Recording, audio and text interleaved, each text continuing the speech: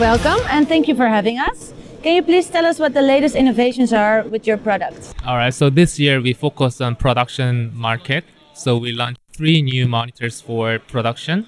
So first of all, this uh, seven inch is our new monitor for a camera on top monitor, which is uh, which has uh, 3,600 nits.